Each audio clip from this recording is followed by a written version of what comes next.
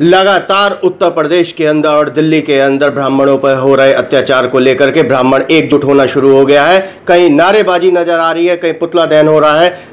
हमारे बीच में दिल्ली प्रदेश अध्यक्ष अखिल भारतवर्षीय ब्राह्मण महासभा के दिल्ली प्रदेश अध्यक्ष बी डी शर्मा जी इनसे बात कर लेते हैं।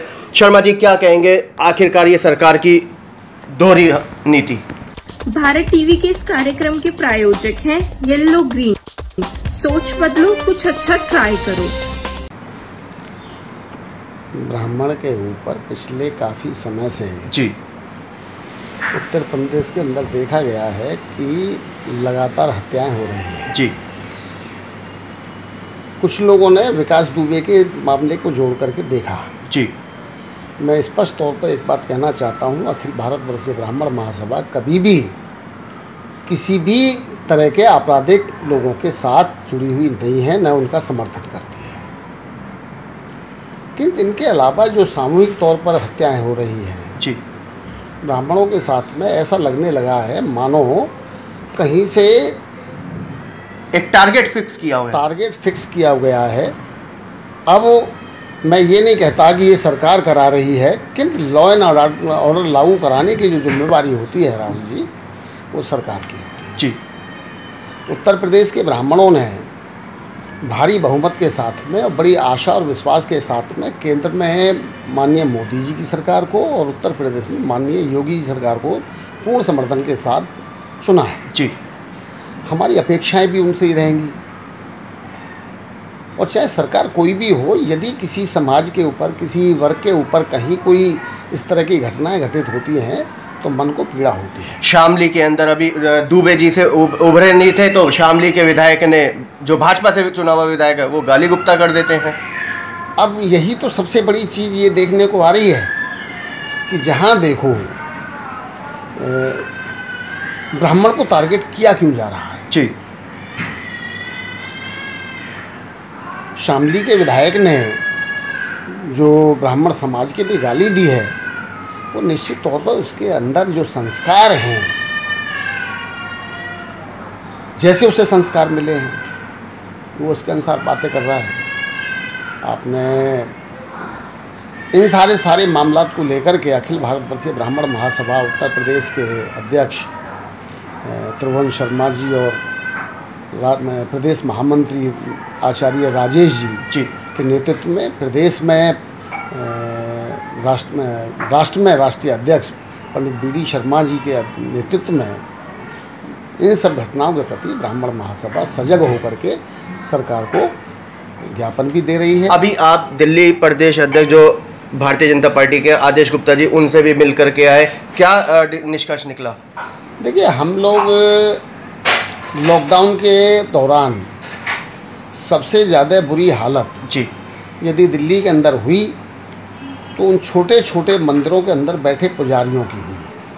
क्योंकि उनकी आमदनी का जो ज़रिया है केवल पूजा पाठ। पूजा पाठ या चढ़ावा जो आ गया जी। उससे ही होता है। कुछ समितियाँ होती हैं जो बड़े मंदिर हैं वहाँ पर पुजारियों को तनख्वाह दी जाती है।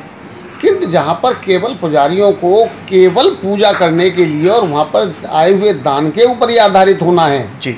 या मंदिरों के माध्यम से जो कर्मकांड के रास्ते मिल जाते हैं। किसी ने हवन करा लिया किसी ने सत्यनारायण क्या बात आप लोगों ने रखी आदेश गुप्ता के सामने? तो हमने उनके समक्ष यही रखा कि जिस तरीके से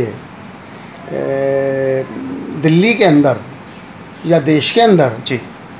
जो मस्जिदों के अंदर इमाम बैठे हुए हैं जब उनको वेतन मिल जब उनको वेतन मिल सकता है तो पुजारियों को क्यों नहीं मिल सकता है? जी।